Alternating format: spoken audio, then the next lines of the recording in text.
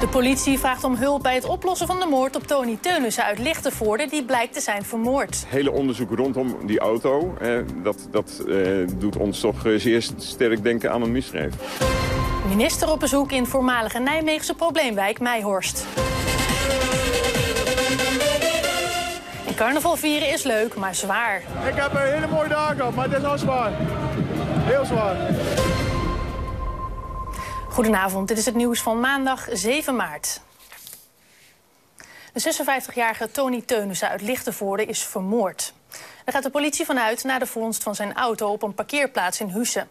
Het levenloze lichaam van Teunissen werd al op 4 januari, weken na zijn verdwijning, teruggevonden in de Maas bij Heusden. Tony Teunissen was een man die geen vast werk had. Hij uh, kluste hier en daar wat bij. Hij uh, ging met kermissen op pad. Daar had hij een kikkerspel. Uh, vanuit die kermiswereld weten we ook dat hij een bijnaam had, de Witte. De Kapoelplaats aan de Stadsdam in Husse. Hier heeft de politie op 13 februari de auto teruggevonden van de 56-jarige Tony Teunissen.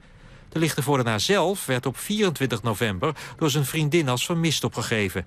Als een schipper op 4 januari de dode Teunissen in de Maas... tegenover de haven van Heusden ziet drijven... blijkt uit onderzoek van de politie dat de Lichtenvoordenaar weken in het water heeft gelegen. Zijn lichaam is in zo'n verre staat van ontbinding... dat de doodsoorzaak niet meer vastgesteld kan worden.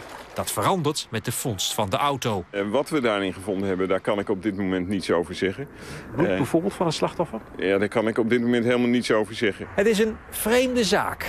Tony Teunissen woont in het oosten van onze provincie. Helemaal in het oosten, in Lichtenvoorde. In het uiterste puntje van onze provincie, in het westen... wordt zijn lichaam uit de Maas gevist. En hier in Husse stond zijn auto geparkeerd. Vanuit Lichtenvoorde uh, naar uh, Nederhemert uh, is zo ongeveer 120 kilometer. En ja, hij is uiteindelijk in de Maas terechtgekomen. Hoe die in de Maas terecht is gekomen, dat weten we op dit moment niet. Hij kan in Husse hier niet in het water gegooid zijn, want dan kom je, dan kom je nooit daaruit natuurlijk. Hè? Nee, en dat is ook de reden dat het aantreffen van zijn auto in Husse voor ons in ieder geval heel erg vreemd is. En dat we daar ook meer over willen weten. Vragen te over dus voor de politie die vandaag door middel van folders de bevolking opriep te melden of ze iets verdachts hebben gezien in de buurt van de parkeerplaats toen de auto van Teunissen er stond. De politie zegt nog volop te zoeken naar een motief voor de moord. Buurtbewoners noemen de Kapoelplek een loesje plek... waar soms dingen gebeuren die het daglicht niet kunnen verdragen. We hebben wel eens wat dingen gezien dat ik uh, bij mezelf denk van... hé, hey, uh, Hè? Het lijkt kook of eh, ze zijn aan het handelen of ze geven iets over. Dat gebeurt nog wel eens een keer. Morgen besteedt de politie uitgebreid aandacht aan de zaak... in het programma Opsporing Verzocht en bij TV Gelderland. Hoog bezoek voor de wijk Meijhorst in Nijmegen. Minister Opstelten van Veiligheid en Justitie kwam er een kijkje nemen. Meijhorst werd jarenlang geterroriseerd door hangjongeren. Maar het tij is gekeerd. In Nijmegen zijn ze trots op Meijhorst. Want nadat de politie, de gemeente en andere organisaties in 2008 de handen ineen hebben geslagen, gaat het stukken beter met de voormalige probleemwijk. Ja, als ik dit vergelijk, eh, de situatie nu met uh, twee, drie jaar geleden, dan hebben we een ongelofelijke stap vooruit gemaakt. En dat, uh, dat zien we, dat zien de bewoners en daar gaat het in de eerste plaats om. En dat vinden we ook niet erg om dat de minister te vertellen. Hoe dat was. Uh, ja, er gebeurde van alles en nog wat waar de mensen gewoon bang van werden. Tot twee keer toe woedde er een brand in het voormalig jongerencentrum. Diverse auto's gingen in vlammen op en buurtbewoners durfden s'nachts niet meer over straat. 56 jongeren kregen een gebiedsverbod opgelegd. Maar door extra toezicht en aandacht verbeterde de situatie. Deze toezichthouder werd destijds het ziekenhuis ingeslagen. En nu werkt hij weer met plezier in Meijhorst. Bewoners hebben het er weer naar hun zin. En de hangjongeren, die hangen minder. Veel minder dan uh, twee jaar geleden. Twee jaar geleden was er ravage, vond ik. De jongens zijn mindere jongen, die hangen, iedereen die doet iets laatst tijd en werken en zo. Ze moet, je, moet, je moet ergens je eigen boontje kunnen doppen. De minister lijkt onder de indruk van de samenwerking en de aanpak. Buurtbewoners zijn tevreden, maar zijn bang dat nu het zo goed gaat in de wijk... de geldkraan wordt dichtgedraaid. Nou ja, als je al het nieuws hoort wat er bezuinigd moet worden ja, dan, uh, dan wordt er wel gevreesd van dat er weer wat afgeknabbeld wordt. Het is ook een moeilijke tijd natuurlijk, uh, financieel gezien. Neemt niet weg dat je de goede keuzes moet maken. Dit moet je natuurlijk vasthouden. En dan vertrekt de minister met zijn gevolg. En in Meijhorst? In Meijhorst is het weer zoals de bewoners hun wijk het liefst zien. Rustig. De stemmen zijn allemaal geteld. En dus is nu de definitieve uitslag van de Provinciale Statenverkiezingen bekend. Er zijn een paar kleine wijzigingen ten opzichte van vorige week. De Partij van de Arbeid heeft negen zetels gehaald. De Partij van de Arbeid had in eerste instantie 10 zetels, maar dat zijn er 9 geworden. En er zijn nog meer veranderingen. Ook de SP verliest een zetel en gaat van 6 naar 5. De ChristenUnie en GroenLinks krijgen er allebei een zetel bij. ChristenUnie heeft er nu 3 en GroenLinks 4. Donderdag worden de nieuwe statenleden officieel geïnstalleerd. De VVD mag als grootste partij bij de collegebesprekingen het voortouw nemen. De partij verwacht dat over zes weken de nieuwe bestuurders bekend zijn. Het hele weekend is er al volop carnaval gevierd. Maar de echte fanatiekelingen gaan gewoon nog even door. Sterker nog, volgens veel carnavalsvierders is vandaag het hoogtepunt. Rozenmoontaak. Hier in Beek-Upbergen weten ze wel hoe je carnaval viert. Bier, bier, bier en nog eens bier drinken. En heel veel feesten natuurlijk. Maar als je al dagenlang jezelf helemaal klem drinkt... weinig slaapt en toch nog leuk mee wil doen aan de grote optocht dan is dat voor sommigen toch net iets te veel van het goede. Ik heb een hele mooie dag gehad, maar het is zwaar. Heel zwaar. En deze jongeman is niet de enige met een dipje vandaag. Even leuk om je heen kijken of een dansje wagen. Het lijkt er ook op deze carnavalswagen in te zitten. De jury ondertussen houdt de optocht scherp in de gaten. Dan zijn er ook mensen die, die zijn helemaal moe, hè? die kijken een beetje sip, zitten een beetje te gapen. Krijgen ze dan uh, punten in mindering? Er wordt ook op gelet of je lekker betrokken bent bij, de, bij het geheel. Op deze feestkar hebben ze nog energie voor tien. Zelfs na een lang carnavalsweekend. En hoe je dat doet na een heel weekend flink doordrinken... daar zijn wel wat oplossingen voor te verzinnen. Ja, flink melk van tevoren drinken, daar helpt de kaarten weg. En s ochtends een eitje eten? Ja, precies, dat komt ook altijd goed. Hè. Mama, pak voor mij een eitje. Hoe dan ook, brak of niet, de praalwagens zijn er niet minder om. Maanden is er aan de creaties gewerkt en dat mag wel gezien worden. Het publiek vindt het schitterend. Vergeet even je zorgen en doe gewoon even lekker, gewoon alles loslaten. Ja, gewoon even raar. Uit je dak, uit je, uit je dak. En voor wie er echt door wil gaan tot aan het gaatje... morgenavond is er in Bekerbergen nog een kroegentocht. Voor een vermogen is zijn transportbedrijf verkocht. Wim Bosman uit Serenberg stapt na 50 jaar uit zijn bedrijf. Zometeen de reportage. De gemeente Arnhem heeft genoeg van het luxe verzuim. Het ziek, kind, het ziek melden van een kind om eerder op vakantie te gaan. Bij een controle bij 36 zogenaamde zieke kinderen bleek er niemand thuis te zijn. De ouders moeten op gesprek komen en riskeren een boete. Deze en nog 50 andere konijnen zoeken een nieuw baasje. De Nijmeegse konijnenvang zit overvol. Normaal gesproken is het in de zomermaanden het drukst... maar de laatste tijd zijn tientallen konijnen gevonden... die door hun eigenaren zijn gedumpt. Gemeente Bronkhorst zoekt, zoekt, inwoners die op een erf een zogenoemd rustpunt willen inrichten voor toeristen. Het moet vlakbij een wandel- of fietsroute liggen. Op een rustpunt staat een tafel met banken, een toilet en kunnen bezoekers zelf koffie, thee of limonade maken. In Aalten zijn na een schietpartij een 39-jarige man en een 60-jarige vrouw opgepakt. De vrouw zegt te hebben geschoten. Aanleiding was een ruzie in een horecazaak. Niemand raakte gewond. De eerste heidebrand van dit jaar is een feit.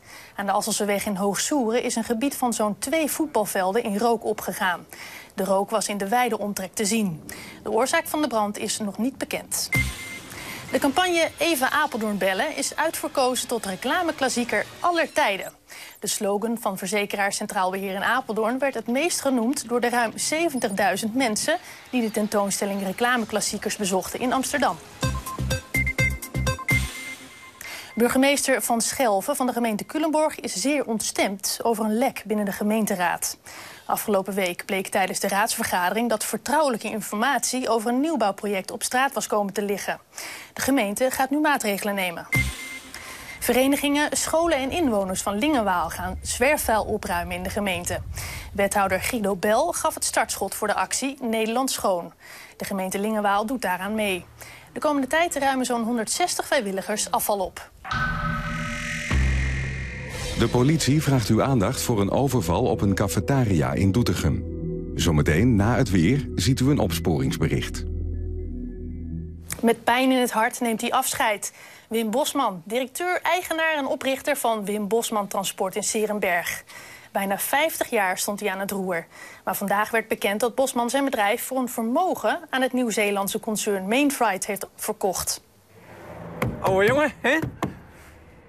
Nou, Wim Bosman is zichtbaar trots op de oude truc. Want met deze vrachtwagen is het in 1963 allemaal begonnen. En toen heb ik het op een gegeven moment de stoute schoenen aangetrokken... en op 21-jarige leeftijd gewoon een, een trucje gekocht. Geen, geen bedrijfsplan, geen money, alleen maar hoop inzet. En toen de zaak gedaan. En dit is geworden. Ja, dit is het geworden. Een transportbedrijf met meer dan 1600 werknemers... verspreid over heel Europa. Maar nu gaat het Achterhoekse bedrijf van de hand... voor maar liefst 110 miljoen euro. 110 miljoen euro, dat is een hoop geld. Ja, ja, ja, ja. Maak het morgen niet op. Bosman was al jaren bezig om een geschikte overnamekandidaat te vinden. En dat is volgens hem nu gelukt. Het bedrijf blijft opereren vanuit Serenberg... en de werknemers hoeven niet te vrezen voor hun baan. Toch heeft de Achterhoeker vandaag een beetje een dubbel gevoel. Ik doe het aan de ene kant, doe ik het doet me natuurlijk wel heel veel zeer. Op een gegeven moment dat je kindje gaat verlaten. Maar aan de andere kant, och, is de tijd van komen en de tijd van gaan. En de tijd van gaan is, is nu gekomen.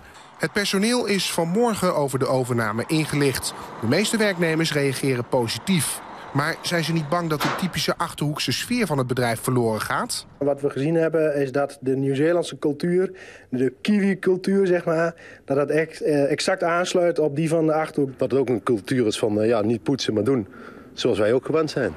1 april treedt Wim Bosman terug als directeur... en gaat hij met zijn vrouw genieten van het leven. Wel blijft hij actief in de Raad van Commissarissen. Want het bedrijf helemaal loslaten, dat kan hij niet. Topkok Joop Braakhekken en oud-premier Pieter Jong zijn er twee. Maar in het verschenen boek Stadsjeugd Apeldoorn... staan ook nog 22 andere bekende en minder bekende Apeldoorners. In interviews met schrijfster Riemke Reiners... halen ze allemaal herinneringen op aan hun jeugd in Apeldoorn. Dit is het voormalige hotelrestaurant Bloemink in Apeldoorn. En dit is Joop Braakhekken, toprestaurateur en bekend van zijn kookprogramma's op tv. Braakhekken is nu eigenaar van het vermaarde restaurant Le Garage in Amsterdam. Maar bij Bloemink zette hij de eerste schreden in het vak van restaurateur. Ja, daar is het voor mij begonnen. Ik kwam dus na de Hoge Hotelschool ben ik stage gaan doen in Parijs en in Barcelona. En, en, en verder nog daar in de buurt. En toen ik terugkwam in Nederland ja, waar ga je er naartoe? Dan ga je naar je ouders. Dus op een 24ste of 23ste jaar voor het eerst een blauw kostuum. En uh, assistent directie, ja. Braakhekker deed gymnasium in Apeldoorn, maar eerst volgde hij het basisonderwijs op de Koningsschool. Een school die werd gebouwd in opdracht van koning Willem III... en waar alleen kinderen van de hofhouding van de koning werden toegelaten en de jonge braakhekken. Nou, mijn vader die, deed, die werkte bij de belastingen en die deed aangiftes voor enkele leden van de hofhouding. Onder meneer de Keuning. Meneer Keuning geloof ik, ja. En op die manier ben ik, zijn wij, mijn broer ook, zijn wij hier uh, op die koningsschool terechtgekomen. En het was toen nog echt met petjes en broekjes en alles... Uh... Ook het Apeldoornse theater Orpheus is bepalend geweest voor het latere leven van Braakhekken. Zijn moeder zong er en hij werkte er in het theaterrestaurant Eurydice. Ja, mijn vak heeft toch wel heel veel ook met theater te maken, hè? vind ik zelf. Dat vind ik. En in die zin is dit een goede leerschool geweest? Ja, je kunt, je kunt toch zien hoe, hoe je het wezenlijke theater kan integreren in het vak van restaurateur. Het verhaal van Braakhekken staat in het boek Stadsjeugd Apeldoorn. Dat vandaag is aangeboden aan burgemeester Fred de Graaf. Voor Apeldoorners is het smullen die verhalen van hun bekende en minder bekende plaatsgenoten. Stadsjeugd. En dat heeft niks met hangjongeren te maken. En dan nog het weer met Dennis Wild. We zijn de week goed begonnen. Strak blauwe luchten, zon overgoten net als gisteren. En ook morgen krijgen we nog een zonnige dag. Maar voor de bloeitijd is het nog wat te vroeg. Het is ook nog best fris hoor, met die schrale oostelijke wind. En vooral de nachten zijn koud. Ook komende nacht gaat het onder een heldere hemel in Gelderland opnieuw een paar graden vriezen. Nauwelijks bewolking in onze omgeving. We hebben nog steeds te maken met een oostelijke stroming, maar de wind gaat draaien. Morgen naar een zuidelijke richting. Dan nog altijd droge lucht in de aanvoer en ook iets warmere lucht. Dus de temperaturen lopen morgen ietsje verder op. Maar als de stroming vanaf woensdag in het zuidwesten belandt... dan krijgen we te maken met die bewolking vanaf de oceaan... en krijgen we heel ander weer. De zon gaat dan schuil achter de wolken en soms laat het ook wat regen los. Maar voorlopig is het nog helder. Ook vannacht helder met temperaturen van zo'n 3 tot 5 graden onder het vriespunt. Plaatselijk zelfs matige vorst. Bij een zwakke wind die draait al naar een zuidoostelijke richting. En vanuit die hoek dus ook morgen de aanvoer van droge lucht. Een frisse start, maar de zon is er al snel bij. Vanaf een uurtje of zeven wordt het alweer licht. En die zon die blijft de hele dag doorschijnen. Blauwe lucht ook, morgen weer. Misschien hier en daar een vliegtuigstreepje, maar die zal ook weer snel gaan oplossen. Dus een prachtige dag morgen met temperaturen die dus ietsje verder gaan oplopen. Ik denk zelfs op veel plaatsen in de dubbele cijfers, 10 of 11 graden. Met een wind daarbij dus uit een zuidelijke richting, die gaat aantrekken. En die wind die draait dan in de avond verder naar het zuidwesten toe. En vanuit die hoek wordt dan bewolking aangevoerd. En de nacht daarop verloopt een stuk bewolkter en ook duidelijk minder koud. Want onder die bewolking kan de temperatuur niet veel verder dalen dan zo'n 4 of 5 graden. En dan overdag, woensdag 8 graden met veel bewolking. Waaruit ook af en toe wat regen valt, net als op donderdag. Zo richting het weekend komt de zon weer wat vaker tevoorschijn. In eerste instantie een hele stevige zuidwestelijke wind, maar het wordt weer wat rustiger. En opnieuw kunnen de nachten weer koud worden. Dit was het nieuws waarin u zag dat de politie om hulp vraagt bij het oplossen van de raadselachtige moord op lichtervoerder Tony Teunissen. En dat de eigenaar van Bosman Transport uit Serenberg zijn bedrijf voor meer dan 100 miljoen verkocht. Tot zover deze uitzending. Nog een fijne avond verder.